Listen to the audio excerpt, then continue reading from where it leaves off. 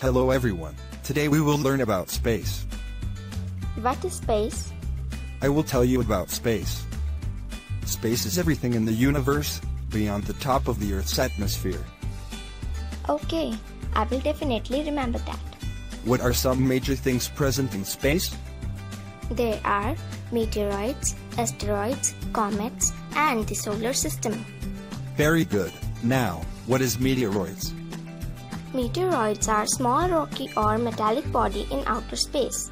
If they enter the Earth's atmosphere, they become meteors. What are asteroids?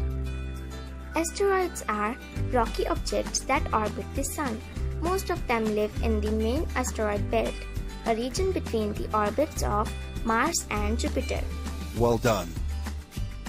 What are comets?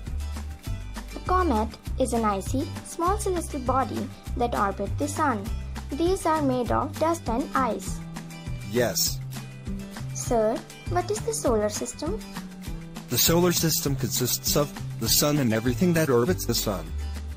This includes the eight planets and their moons, countless comets, asteroids, and meteoroids. What are the eight planets?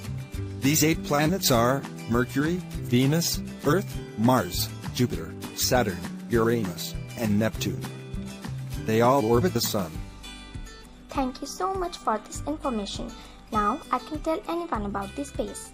I hope you understood everything. Thank you. Hello friends, don't forget to like this video and subscribe to our channel Create for Fun. Also click the notification button to get notified. Bye bye see you next time.